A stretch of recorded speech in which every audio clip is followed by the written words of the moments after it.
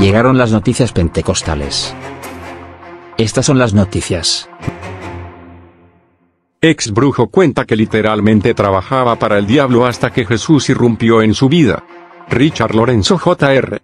Es un pastor cristiano, pero no siempre fue así. El ex brujo estuvo en un momento involucrado en lo oculto, participando en el mal y animando a otros a hacer lo mismo. Pero todo eso cambió cuando aceptó a Jesús en el año 2019. Definitivamente estaba poseído, dijo recientemente a CBN Digital. Estaba escuchando voces. Literalmente estaba escuchando voces. El viaje de Lorenzo al abismo comenzó como tantos otros. Se encontró con objetivos mundanos que rápidamente fueron eliminados de su lista personal.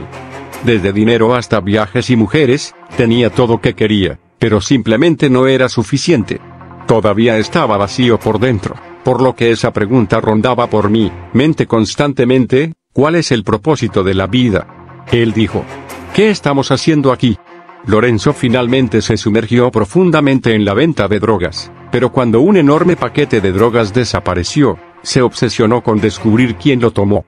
Fue entonces cuando recurrió a una fuente inesperada para intentar descubrir la respuesta, un sacerdote vudú. De hecho, Lorenzo viajó hasta Haití para reunirse con el ocultista. Regresé a Estados Unidos, y, ¿fue entonces cuando las cosas se volvieron locas? dijo. Lorenzo dijo que sus emociones se intensificaron y terminó en un camino loco.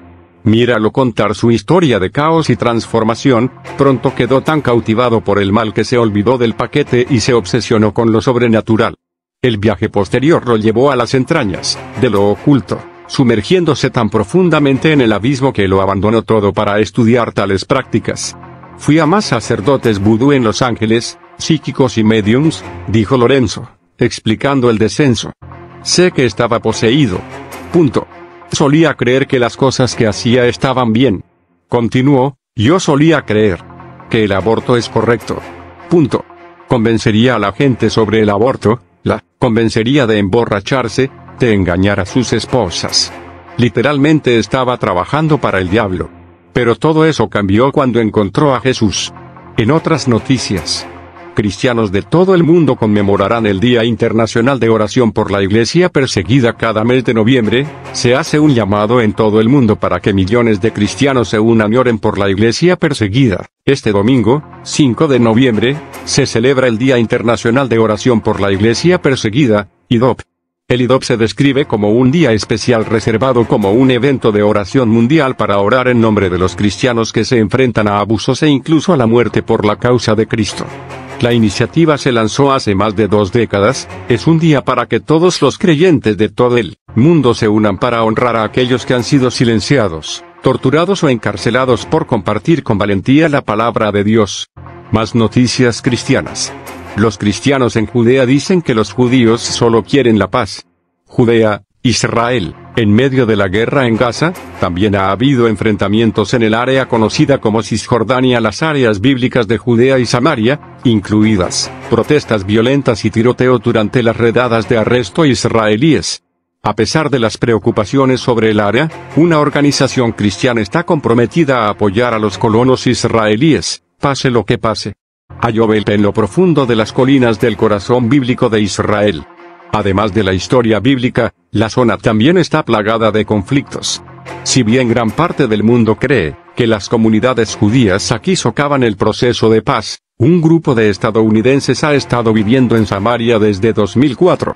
El fundador de Ayobel, Tommy Waller, dijo, Nuestra familia vino aquí hace 20 años. Vinimos aquí para apoyar a los judíos en su regreso a su mandato bíblico y profético. Y estamos entusiasmados de poder servirles. Los voluntarios de Ayobel dicen que simplemente apoyan a los colonos judíos que tienen derecho a estar aquí según la historia bíblica. Ahora las amenazas a su existencia son mayores que nunca. El 7 de octubre nos dio una llamada de atención. Creo que le dio a todo Israel una llamada de atención, dijo Guayer. Pero para nosotros, esta es la primera vez que hemos visto una guerra en múltiples frentes desde 1973. No hay comunidades aquí, Así que, nuestro propósito aquí es servir a estas comunidades que son vulnerables. En pocas palabras, son vulnerables. Y creo que el mundo cristiano necesita entender eso.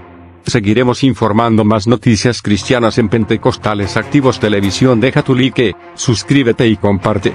Que Dios te bendiga y recuerda Cristo viene pronto.